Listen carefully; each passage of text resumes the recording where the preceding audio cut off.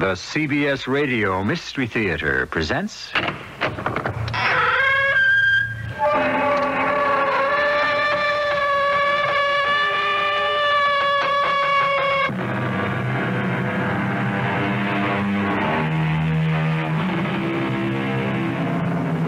Come in. Welcome. I'm E.G. Marshall. Do a ladder leaning against a building, a black cat, spilt salt, or knocking on wood have in common? That's right. They're all superstitions. But since superstitions are only the children of ignorance, in this world of expanding knowledge, nobody really believes in them anymore. Or do they? Mm-hmm. And if anyone does, surely the calm, clear logic of 20th century science could illuminate, banish, and defeat the dark clouds of superstition. Or could it? Listen and decide for yourself. Two hours overdue, and he isn't hollering Mayday over our emergency radio digger. It doesn't look good. That front that went barreling through under us? Well, he could have gotten caught in that. Hmm. Yeah. And ditched. Was a rum go for a while. Yeah. Better hang on the pipe just the same. Although how it looks right now, that poor guy might have bought it.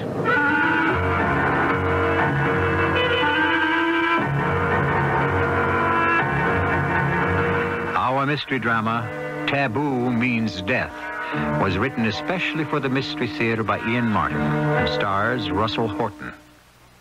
It is sponsored in part by ARM, Allergy Relief Medicine. I'll be back shortly with Act One.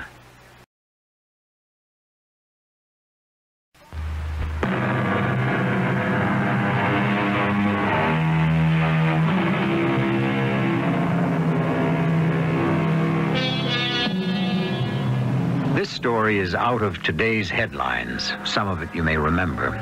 It shouldn't be too difficult to tempt you to listen to it, since in order to do so, you must travel with me the South Pacific to the island paradise of Western Samoa, Upolu. The capital of Western Samoa is Apia, a sleepy little port town whose main claim to fame is a hotel named Aggie Gray's. It is one of those special spots for travelers which dot the world. Their claim to fame? Haunt them, and sooner or later you will meet anyone or everyone you knew. Mac! Oh, Mac Calder! Huh? Who? Who? Are... Digger! Digger Brown! Hey, man, what brings you to Samoa? This is my territory, Yank. What brings you here? Um, this and that. Business? Uh, not exactly. Oh, I read you loud and clear. I won't pry. How do you like the Fia Fia? The, what? The entertainment you're watching. Oh, oh, it's uh, it's great, super. I uh, I was just trying to figure out what kind of short long johns the guys wear under their skirts. Skirts? Oh, I see I've got to educate you, Yank.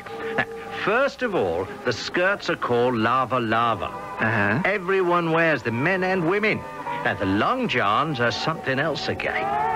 Only uh, the sons of the chief wear them. They look like Spider-Man. Wha- What is it? Some sort of woven material? Well, it's a garment none of them ever can take off. A tattoo needled right onto the skin. From above the waist to below the knee? That's right. Oh man, I bet that hurts. Oh, too right. Well, why? Did, do they really believe that stuff in this day and age? You better believe it. If you want to hang around the islands. Yeah, I, I don't. I want to get out of here as fast as I can. That's why I'm here. Oh, that's a bit contradictory. Uh, you want to shed some light? Mm, only to someone I can trust. Hmm. Think I changed that much in such a short time? Nah, nah. Only I, I don't see how you can help. Well, want to give it a whirl? Hmm, At least you're someone I can talk to. Eh, fire away. Uh, not here. Is there uh, somewhere else? Uh, sure, sure. I uh, have a room in the quiet sector of Aggie's uh, over the garden where all you can hear are the birds sing and the mangoes drop.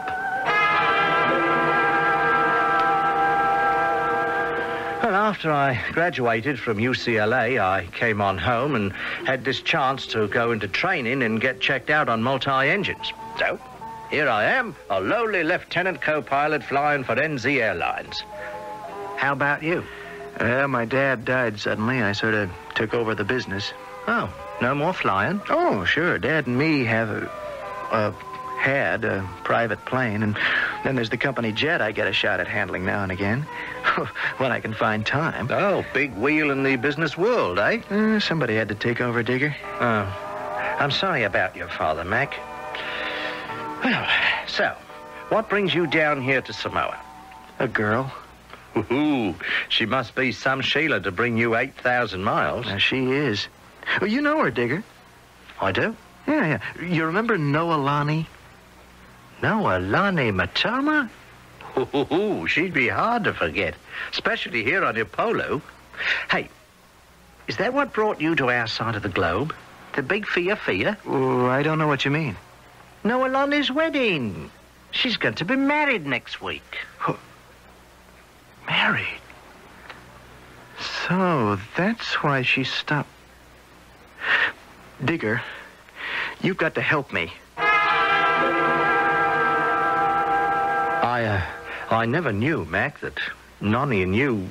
Well, I mean, you dated around and all that, but, but I, I never reckoned it anything serious. Why not, Digger? Well, I, I don't know. I mean, sure, we all went to the university together, but Nonny... Well, I mean... I mean, Noelani was special. Because she was Samoan? Because she was a princess. Royalty. Well, maybe in your frame of reference that doesn't mean so much. Doesn't mean a damn. She's the girl I love and I want to marry. It looks a bit, well, a bit late for that, Mac. Why? She can't marry anyone but me, Digger. Her, her letters were full of plans for our marriage until they stopped coming. Well, maybe the lady changed her mind. No, no, I'll never believe that. Somebody, her parents, must have stopped her from writing, or, or else they kept my letters from her. Digger, that wedding has got to be stopped. You've got to help me. Mac, old bloke, this isn't America. You mess around with island people with an ancient way of life and customs neither me nor you could understand, and you're asking to get your, your head handed to you in a basket. I'll take my chances. No, no, count me out. I don't want anyone laying any curse on me or worse. Oh, come off it, Digger. I've never seen you run scared. Well, you're seeing it now. Well, anyway, I won't be around. I've got to pull out of here tomorrow for Fiji with my crew to pick up a flight down from Nadi to Auckland. You know, I am a working stiff, you know. Okay. Do one thing for me, Digger, huh? Uh, what? Well, you know the ropes here. I, I can't even locate Nani. No one will tell me where she is. Will you, will you find her for me? Well, yes, at least I can do that, chum. Maybe I can even arrange for you to uh, have a talk somewhere.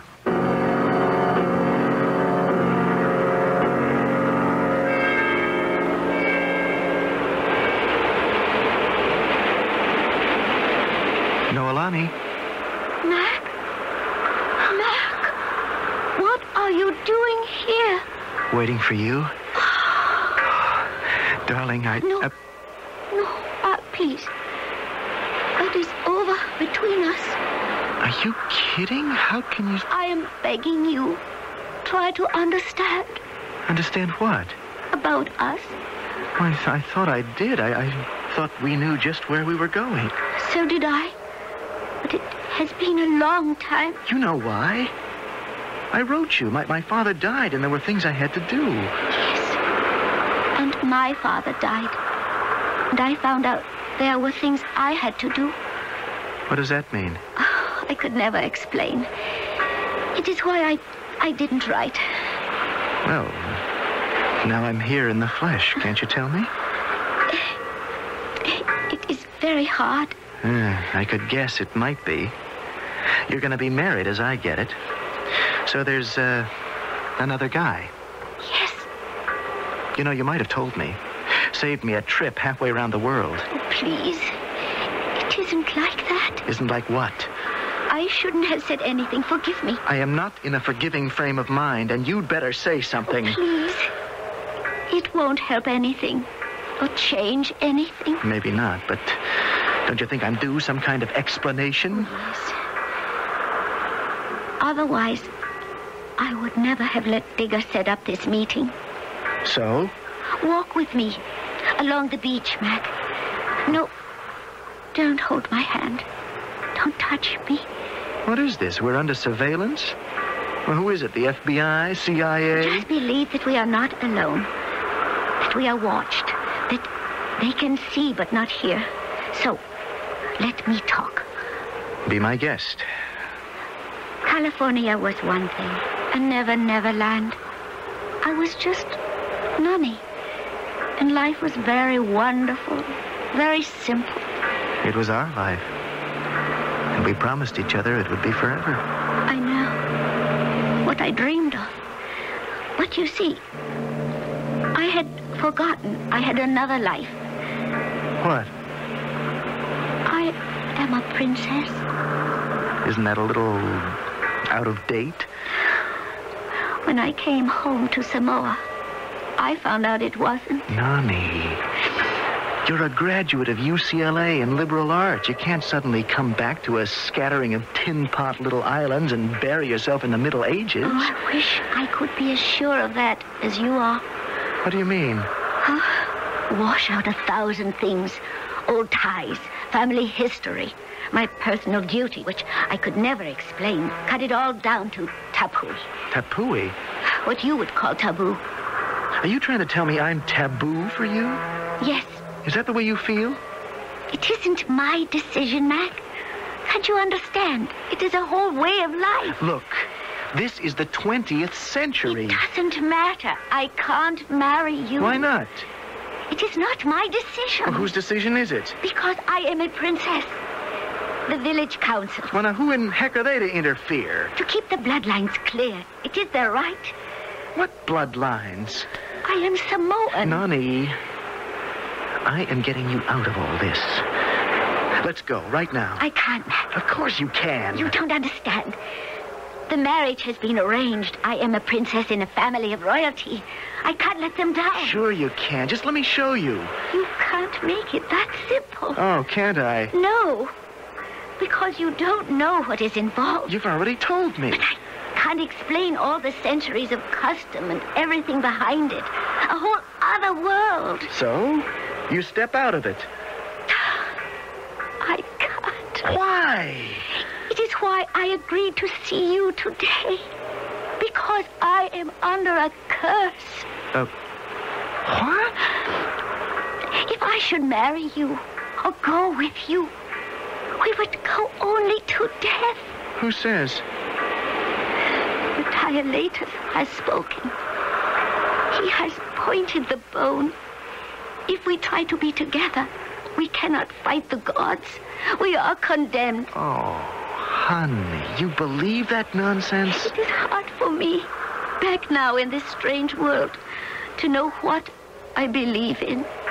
Can't you just believe in me? It is all I ever want to. But What is it? I don't want to bring you disaster. And without my mother's agreement to us, I would be so afraid. So, let's talk to your mother.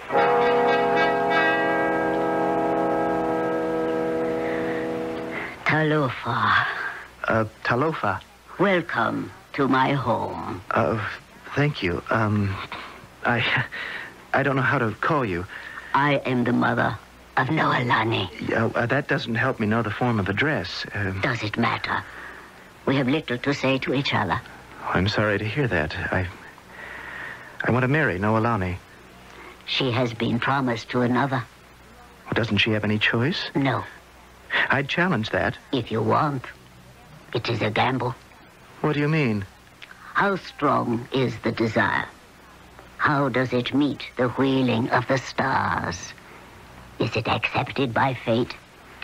And are you brave enough to face death? Oh, I'm sorry, but you speak in riddles. Noelani is the last of her line. Tueto, to whom she has been promised, is also purebred. They are chosen by the stars, selected by Tane, the great god. If the promise were to be broken, Tane would send Taiaroa, god of the winds, and Pera, the goddess of fire, to haunt you. Hm. Are you ready to challenge all our gods? For Noelani? Yes. for Noelani? Or for yourself? No, for her. We love each other, Your Majesty. Nani's happiness lies with me. You are not of our blood. Majesty, princess, mother, whatever I should call you, what are all these ancient prejudices? It's a new world. And, and blood crosses blood and makes the ties that bind everyone together stronger. We're one world today. I cannot cross my gods. I cannot protect you. Most of all, I cannot protect my daughter. The Tylatus has pointed the bone. If you and Noelani should try to find life together, you are doomed. The gods have spoken. Your gods, maybe. Not mine. It looks as though we'll just have to find out which is stronger. The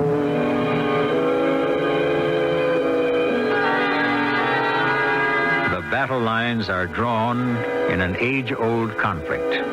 The ways of yesterday against today's. It can happen in any society. And we have our ethnic divisions in every major city and half the towns across the continent. But there is one element here that makes it all a little different. A curse, an ancient civilization, and the threat of strange gods beyond our Western comprehension. I shall return shortly with Act Two.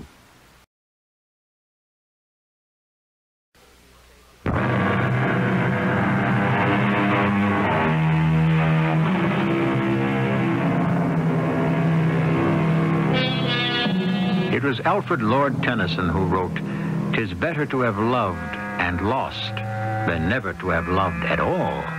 But to be in love and have the reason for losing so antiquated and unreasonable as Mac Calder faces is a very special agony. A determination that under no circumstances will he lose.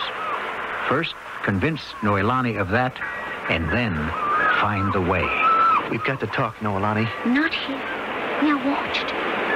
What did my mother say? Well, she's not against us exactly, but uh, look, wh- where can we talk? When? The sooner the better. T- uh, tonight? Not at night. That is impossible. This afternoon, I must go to market in Apia. Can you find me there? Uh, I don't know. Uh, what about the big clock steeple? I could meet you there before sundown. But why, darling? Because by then I'll have a plan for us. A plan? Yeah, to get away, shake off the past, find our own future. Isn't that what you want? I want it.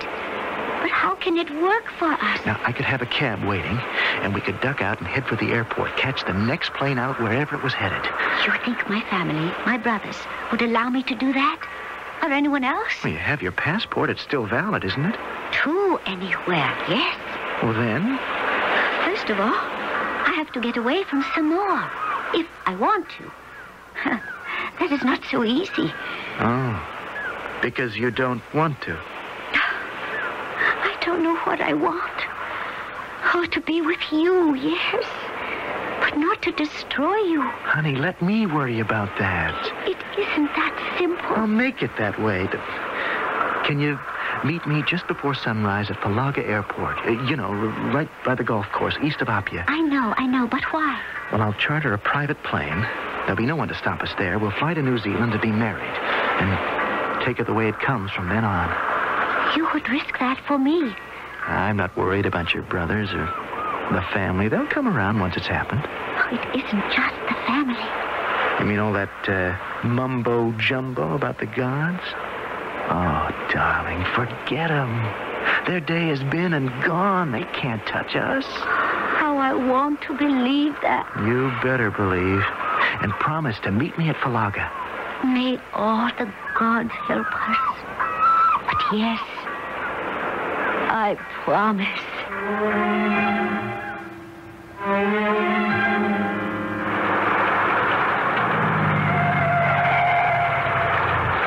Nani? Nani? Darling? Oh, Ma, I'm here. Oh, I'd just about given up. I thought you weren't coming. I just about did give up. The weather. It is not a good omen. Ah, it's nothing, just some rain and a light cloud cover. We'll be out of it 5,000 feet, and it's a cinch the rest of the way in. you have a plane? Yeah, a Cessna 172 high wing. There she is, all set and ready to go. That little thing, it can make it all the way to. to where are we going? Auckland, New Zealand. We'll be married there right after we land. And then we'll grab a 747 or DC-10 for the little old USA. I still don't see how a little plane like that. I have extra wing tanks just in case, but it'll be no sweat. Trust me, oh, If I didn't, would I be here?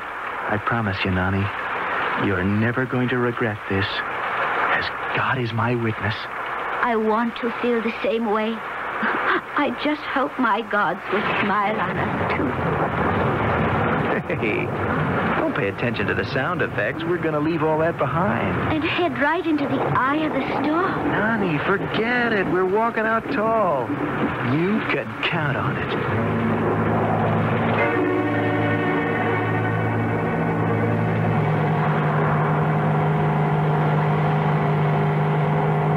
You all right, Nani? Uh, I think so. I am a little wheezy. Just hitting a few air pockets.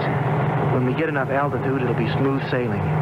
Soon. Honey, we're 7,000 now. We should break this at 8. Oh, will it be much longer? Yeah, it takes time to climb. There's nothing else wrong, is there? Don't worry about me, Mac. I started out a little sick at heart. But what upsets me now is my stomach. You're not sorry you came. I would have to be a whole lot sicker than this before that would even occur to me. But I am scared. Of the storm? No, of what we've done. The best decision we ever made in our lives. Only the brave deserve the fair. Who said that? Hmm, I don't know. Me, maybe. What's the difference? Isn't it the truth? Ah, Nani, we got away with it. No, no, don't say that. Don't wish us bad luck. Luck? what does that signify? We're out front now, and no one from your slow old world can catch us now. Hey, we've got it made.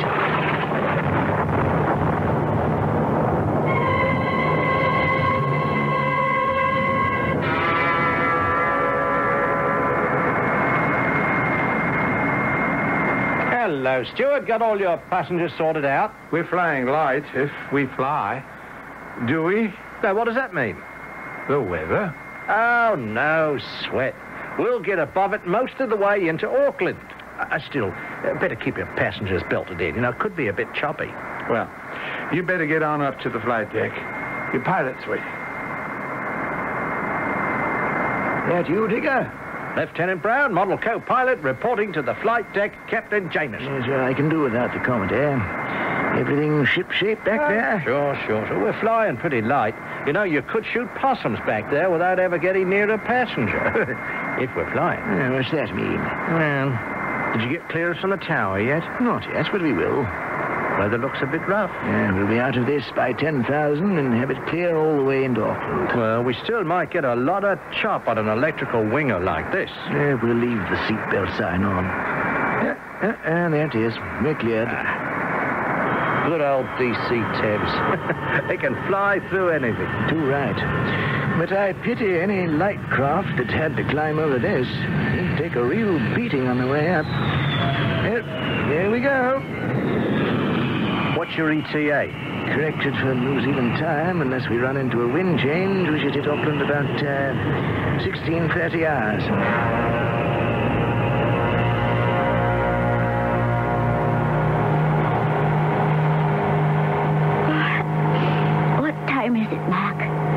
Uh, 1600 hours. What is that in ordinary time? Oh, four in the afternoon. It seems so long.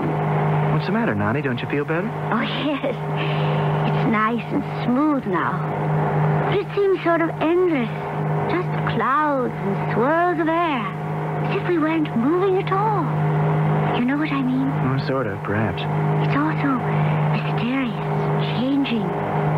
How do you know where you're going? Oh, I got the trusty old ADF, ADS? automatic direction finder. Oh. And without that, we could really be in the soup. Well, which, which is it, Matt? It's the that dial there. See? Oh, yes. Tells our heading exactly. As soon as we get close enough to New Zealand, we can lock on by radio and ride the needle straight in like getting tucked into bed. as simple as that. As simple as that. Unless anything went wrong. And then, Oh, we don't think of that. Why should it go wrong? Oh. I can think of so many reasons. Hey, hey, hey, forget it. We're out of your old world of vengeful gods, Princess Noelani. This is the 20th century. They don't exist. All we need is a simple little old computer and we're home free. What's that? Oh, it's a little early, but I'm just trying to pick up Auckland Radio Center, get a fix at just where we are. That, that's funny. I, I should be within their range by now. There's something wrong, isn't there? What could be wrong? We're lost, Max. Tell me the truth. Are we? Of course not. It, I uh, must have the wrong frequency. Hold it, Nani, till I can make contact.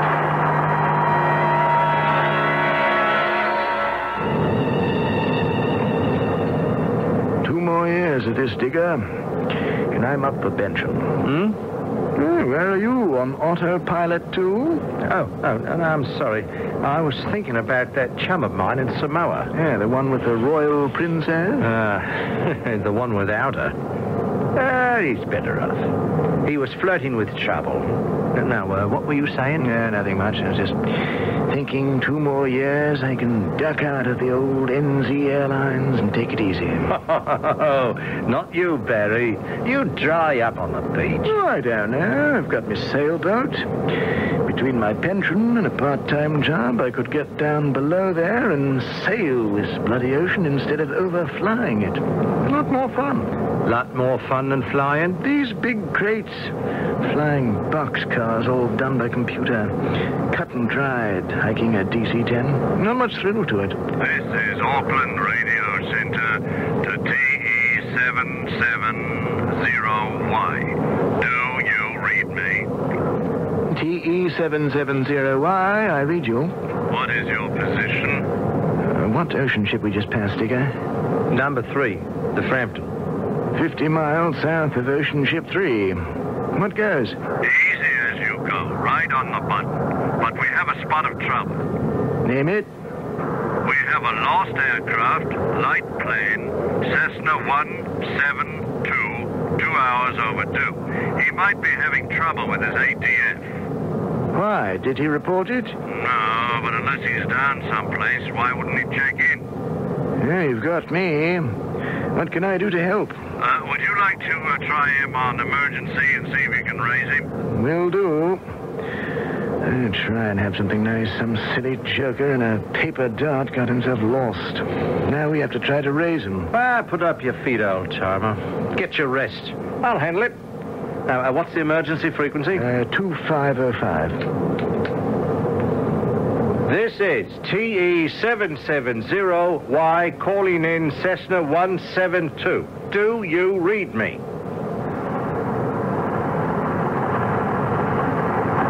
Uh, this is TE770Y calling in Cessna 172. Do you read? Yeah, looks like the cupboard is bare, Mother Hubbard. Well, if he's in our area, any chance of a visual? Mm, no joy from me. You see anything? No, negative. We're at 33,000. He must be under 10. Who could see it? Two hours overdue, and he isn't hollering Mayday on the emergency radio. Doesn't look good. That front that went barreling through below us, yeah, he could have gotten caught up in that. And ditched. It was a rum go for a while. Better stay on the pipe for a while. Take a chance we can raise him, but uh, two hours overdue, all in all. I'd say the poor guy might have bought it.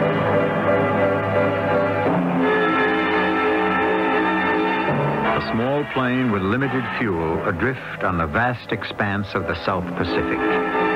That ocean with a deceptive name, where storms and tornadoes and cyclones and wild disturbances sweep the blue waters and mount in weather towers to shock the air above, is an ancient curse to wreak its revenge on two young people. I shall return shortly with Act Three.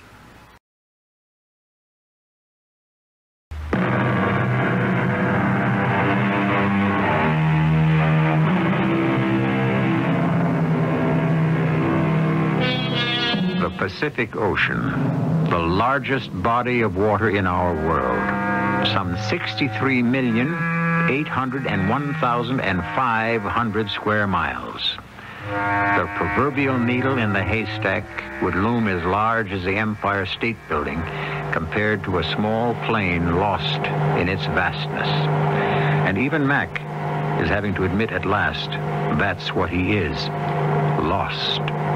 We might as well face it, Mac. We're lost. No. Oh, darling, we have been. Ever since I decided to challenge the Tapui. Nani, let's cut out that nonsense. It isn't nonsense.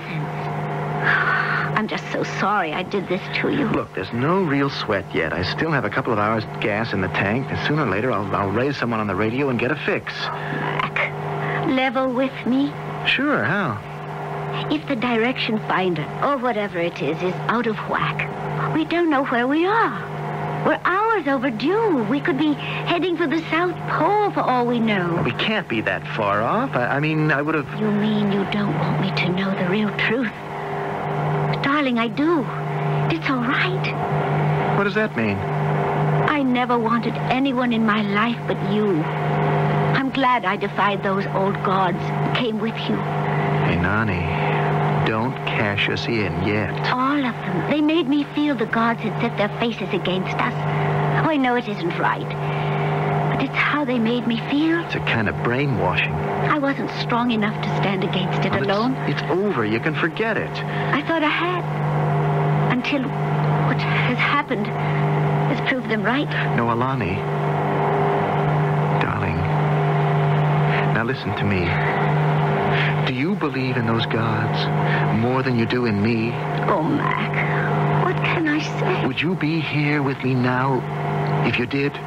No, I suppose. I guess not. Then you believe in my God and us. Promise me? What can he do to save us? I don't know. Only that he will, that he'll shatter the old taboo and splinter all those old bigotries and superstitions and bring us home safe. Just, just believe, darling. That's all I ask. All right, Mac. I believe. I really do. What's that? It's the radio. Uh, maybe we've made a contact. This is TE770Y calling in Cessna 172. Do you read? Uh, Cessna 172, acknowledge. Who are you?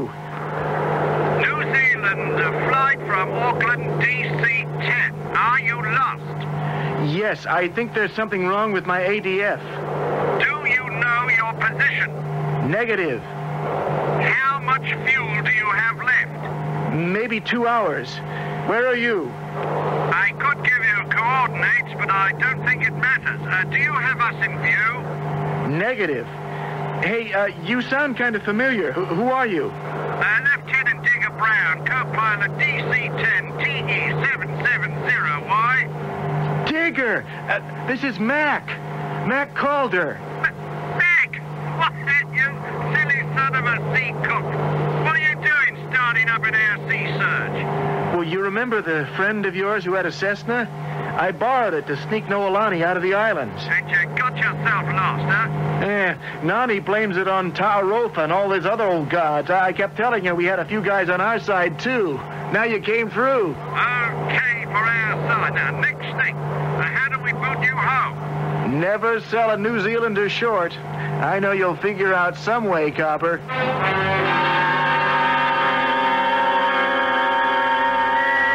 Auckland Radio Center.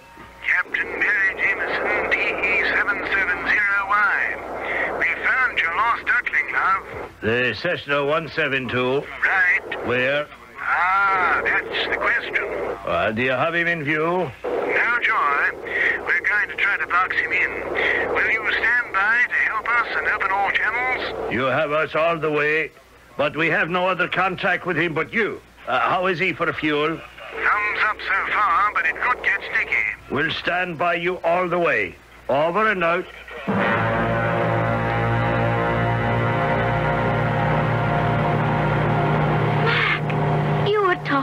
Mac, you were talking to someone you knew. Sure. Digger, Digger Brown. How could he reach us? Do you really want to know why, Noelani? Yes. Because there is a good God in heaven. And because these ancient bloody gods and curses are nonsense, and there is a way out of this mess.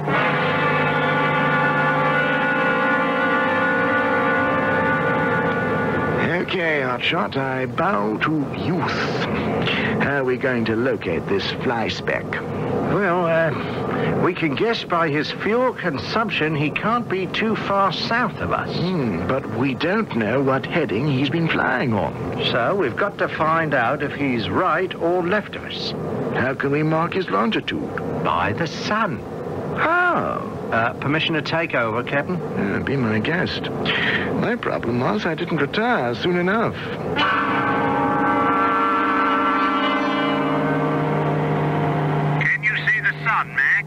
Loud and clear.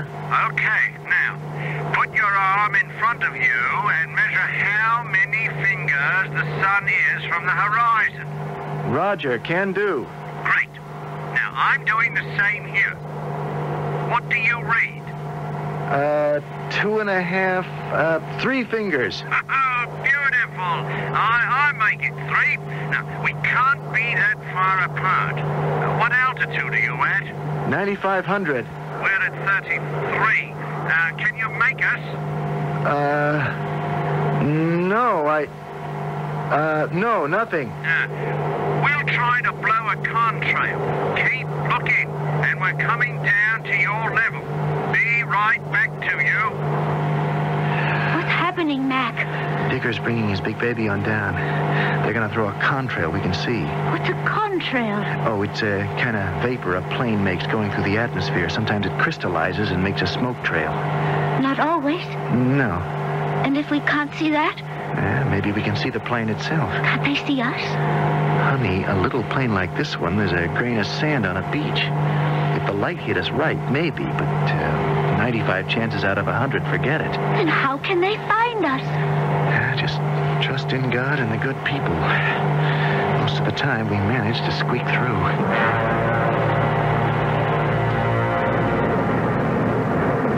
What's our altitude?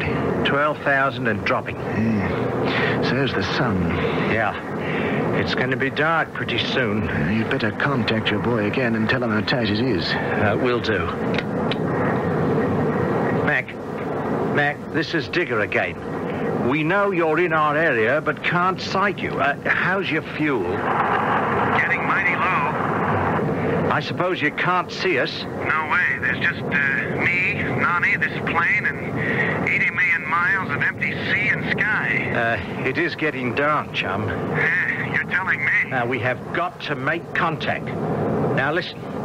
We're going to dump some fuel. You and Nonny keep your eyes peeled for the trail. Now, we've already come on down to about your altitude, 10,000. Watch for the fuel dump. If you don't see it in the air, you'll see it on the ocean. Roger? Roger. Over and out for now.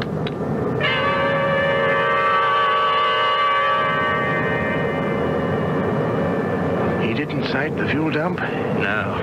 It's too late to try again. The sun's gone. Barry? What, Dig? We can't leave him to ditch. Another hour or so on whatever heading he's on, and he'll run out of fuel and end up in the drink. Yes, I know. There's, uh, there's just one more chance. What? Yeah. Let me talk to him again. Uh, Digger here. Do you read me? You. Now, I can't dump any more fuel. It's too dark for you to pick up our trail.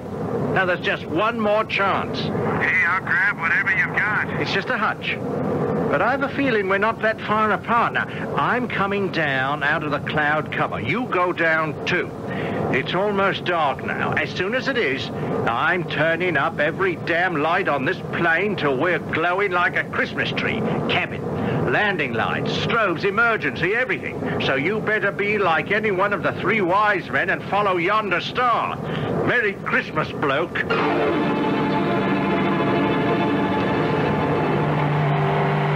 I don't see anything. It's so dark. Do you, Mac?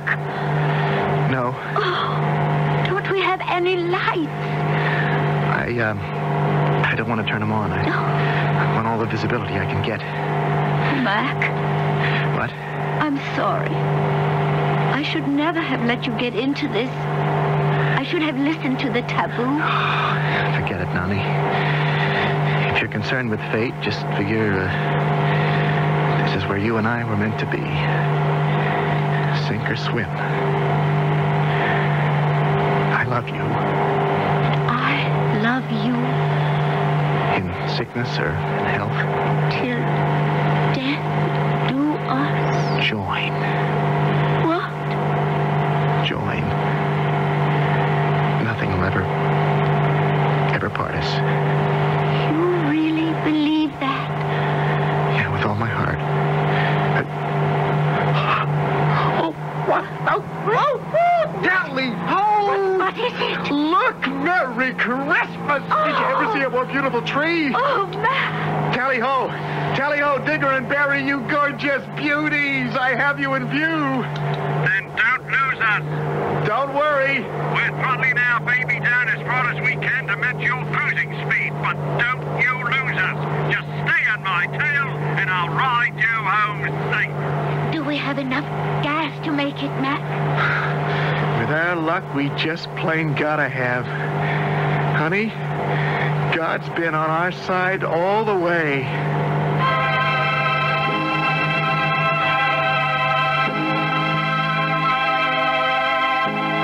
I said in the beginning that most of this was a true story. The small plane landed with bone dry tanks. Five minutes more, and the engine would have failed. Of course, the pilot was alone, and the rest of the story was imaginary. But wasn't it much more fun to imagine that this was the way it really happened? I'll be back shortly.